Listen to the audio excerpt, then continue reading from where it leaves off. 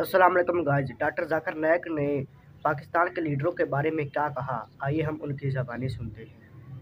The next question is from Aliza Fatima she studying M B from Pakistan when a corrupt leader is elected we are also we are also responsible for the sins he commits as a leader what should be our priorities while electing a leader In today's circumstances, when we cannot find a loyal and honest leader, what should we do?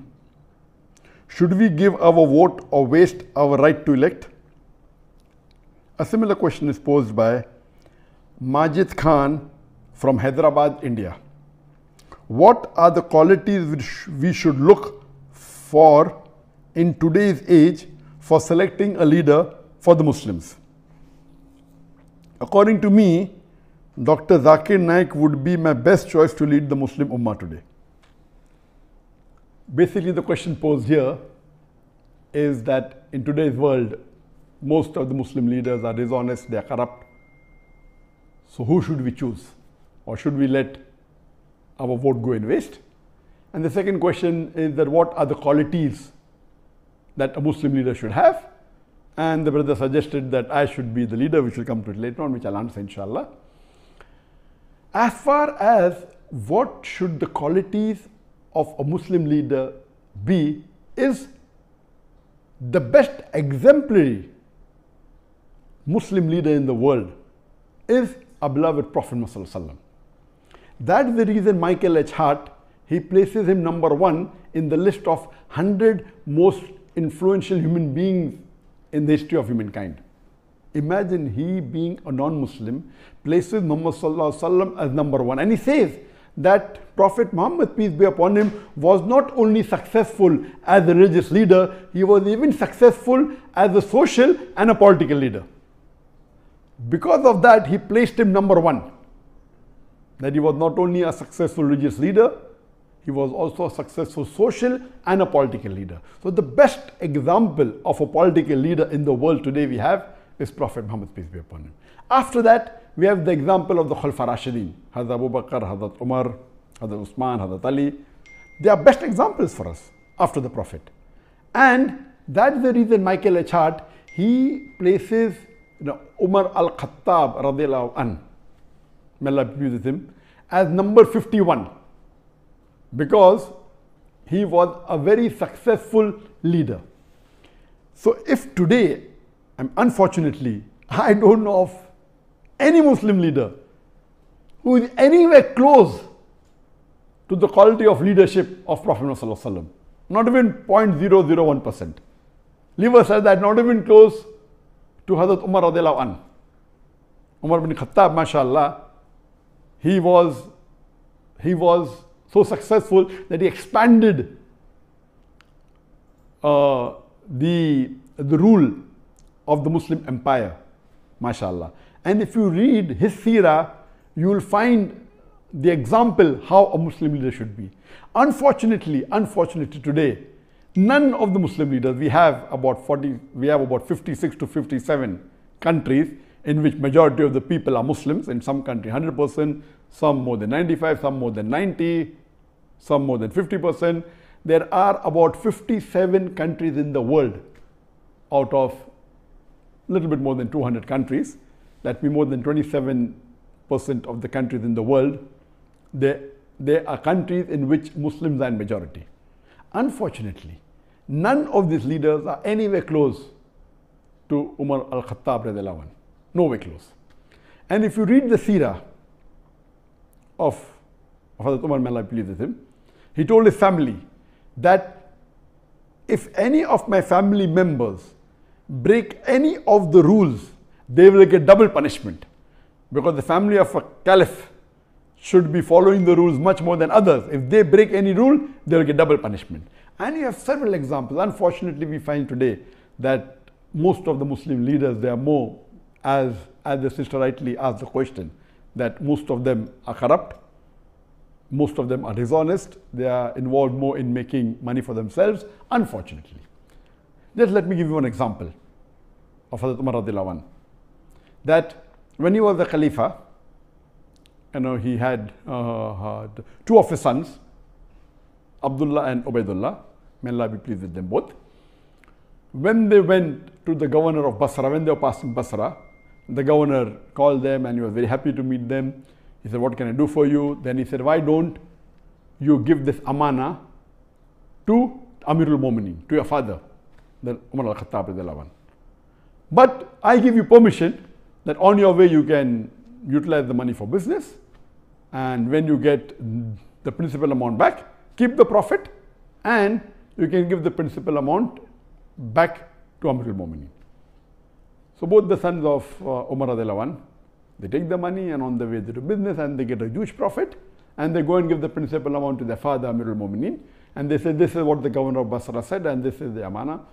So Hazrat Umar was angry and he asked his sons that did the governor give this money to somebody else? They said no. So how come they, how come he has given it to you? So Umar Radiallahu commanded to his sons that give the principal amount as well as the complete profit. Give everything to Baitul Mal. Then the people who were close to Hazrat Umar the other Sahabas, they told that this is a business deal and the permission was given by the governor. So what is their fault? And if it's a business deal, we're allowed to do that. So finally, after a lot of discussion, when they said that, you know, he should change his ruling, then Hazrat Umar said, okay, fine, give 50% of the profit to the Baitul Mal. So we see he was so strict and he made it a law that any of his governor, before they are appointed, he checks their wealth. And once they relieve the post, he checks their wealth again. And he allows only a small percentage of increase. Anything more than that, he said, give it to Baitul Mal. Not that he accused them of corruption. No. He said that means even if you spend more time in the worldly affairs, you're not fit to be a governor. If you want to be a governor under my rule, you have to give your pure time to your duty. Even if you make money, honestly, that is not your purpose. Unfortunately, we see today in the Muslim Ummah, most of the Muslim leaders, they are far away from the deen. If you just take the basic concept of Salah, I believe more than 50% of the Muslim leaders, they may not be offering five times Salah in congregation. There may be a handful, just a small percentage who may be offering five times Salah, that also in a congregation. So unfortunately, the state of the Muslim Ummah today, we have gone far away from the Quran and Sunnah. That's the reason we have today that the situation that the Ummah is in today, because we have gone far away from the Quran and the Sunnah, we have gone far away from the teachings of Allah subhanahu wa ta'ala and the teachings of beloved Prophet And I do agree with the sister that today, unfortunately, the choice that we have is so limited. And unfortunately, most of them would not fit the criteria of how a Muslim leader should be as per the Quran and Sunnah. So what should we do in this situation? What we have to do is that we have to select the best of the worst. And if we analyze, as I mentioned, that almost all the leaders, they don't have the qualities that a true Muslim leader should have like Hazrat Umar or, or even a small percentage, not even 2% of the quality of Hazrat Umar So what we have to do, we have to select the best of the worst. And I do agree with the sister that almost all of the Muslim politicians, they are corrupt, whether it be financially, whether it be with Iman, they are, almost all. There may be one or two or three exceptions to the rule. So what should we do in this situation? As I mentioned, we should select the best of the worst. Number one, according to me, is that select that Muslim leader who is becoming a leader on the Islamic card. That he's proud to be a Muslim and he says that I will, I'm proud to be a Muslim and I will uphold the Islamic law.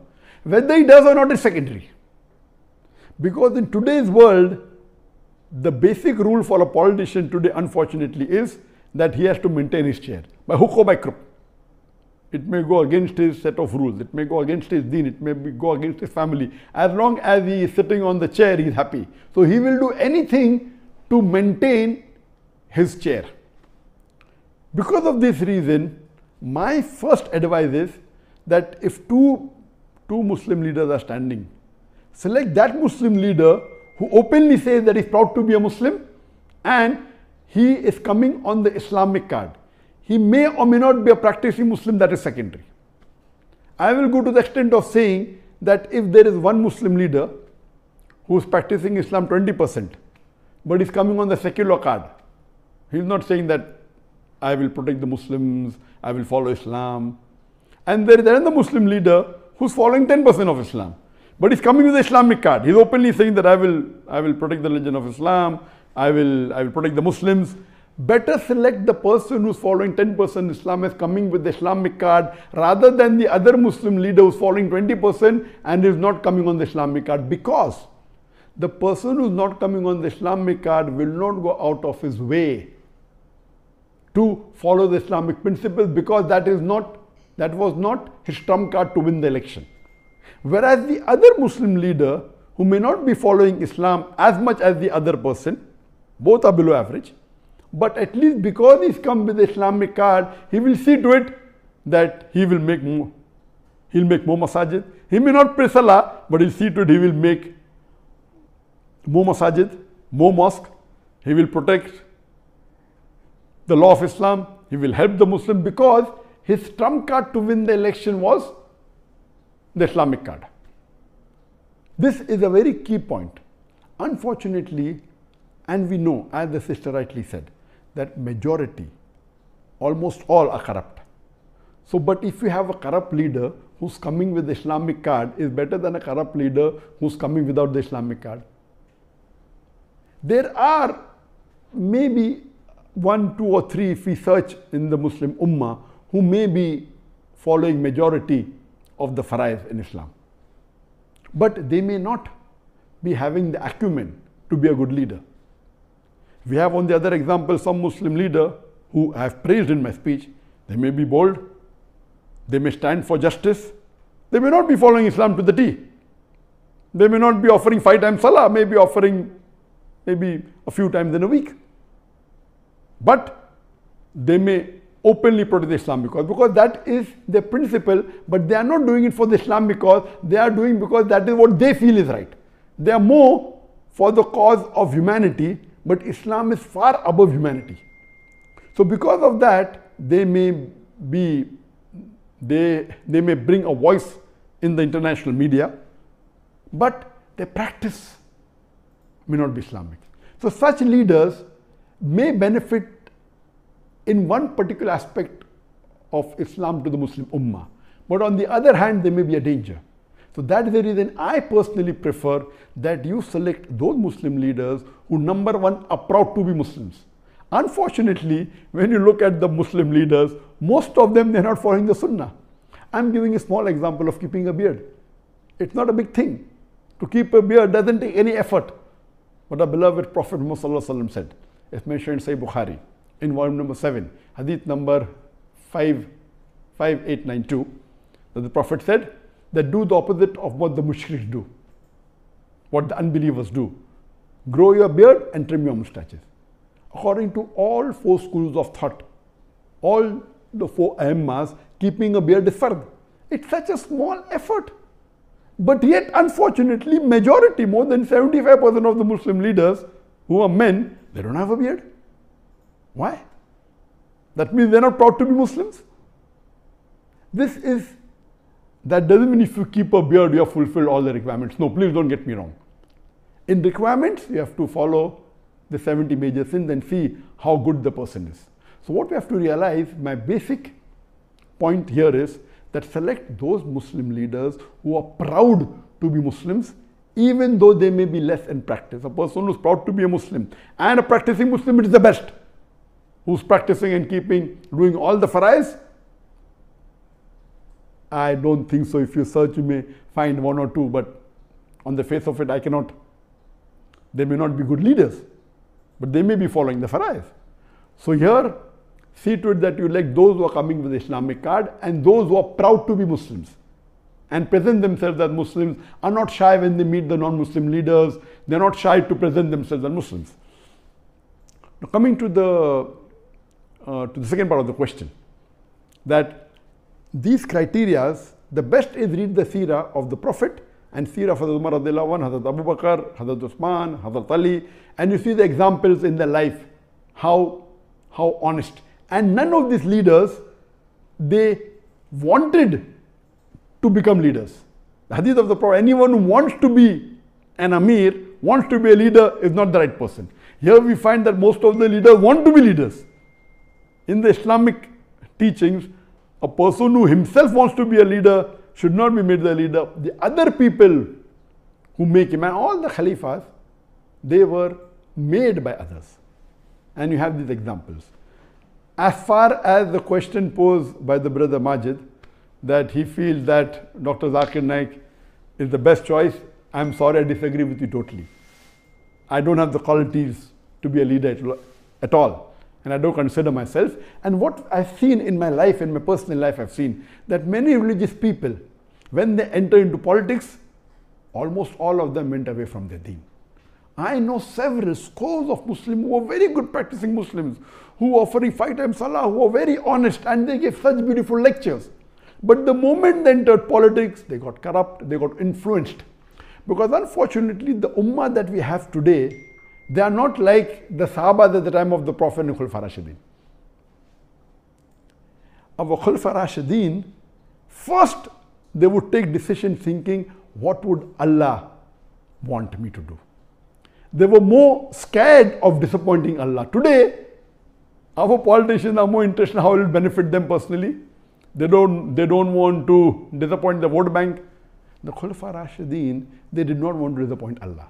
They would take a decision which would be completely against them as long as it pleases Allah. As Allah says in the Quran in Surah Nisa chapter 4 verse number 135 that Ya ladina amunu, oh you believe, stand out for justice as witness to Allah subhanahu wa ta'ala, even if it be against yourself, against your parents, against your kitokin, against the rich or poor. Allah protects all.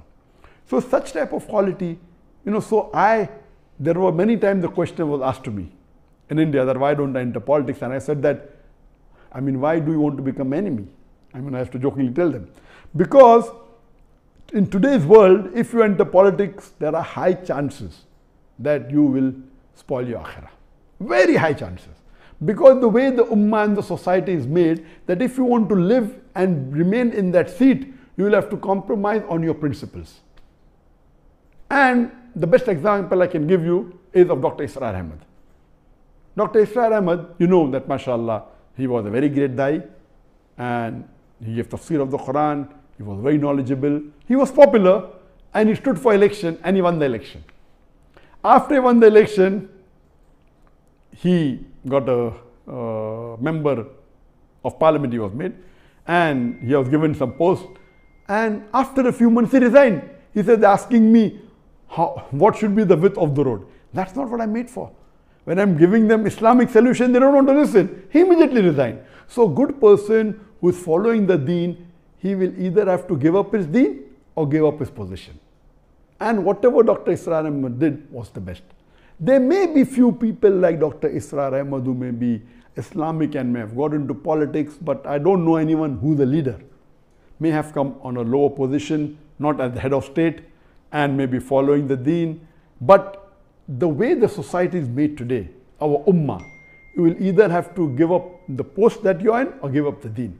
So first of all, I'm not fit to be in that position. Neither do I want to spoil my akhirah. I would, I'm very happy in being a dai and I'm very satisfied with Allah subhanahu wa ta'ala, whatever ni'mah He has given me. मुझे उम्मीद है कि आपको ये video जरूर पसंद आई होगी अगर वीडियो पसंद आई तो वीडियो को लाइक करें और चैनल को सब्सक्राइब करें तो मिलते हैं नेक्स्ट वीडियो में तब तक के लिए अल्लाह हाफिज़